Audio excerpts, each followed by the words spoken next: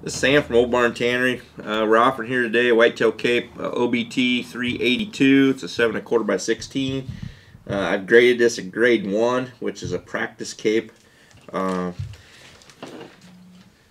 hate these kind of capes, but I'm going to take you through it real quick. This cape has multiple issues. Uh, this eye is all right, but we got there's a rub mark underneath the, the eye on the on the right side. Uh, left side, the eye in the back was cut. Uh, something have to be epoxied and fixed. Uh, the nose has issues on the very inside in the crease of the nose and nothing a stitch or two won't take care of.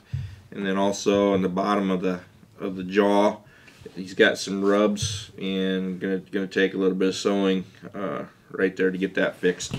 Other than that, uh, if you get down here in the armpit area, he's got some rubs. It's just not it's just not one of them capes that uh, you'd want to put on a on a really good quality mount.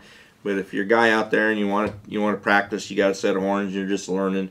This is an economical way to get get rolling on that because you're going to actually buy this for less than what the tanning costs. Uh, if you got any questions about this cape or anything else that we have in stock, please give us a call. And as always, thanks for looking.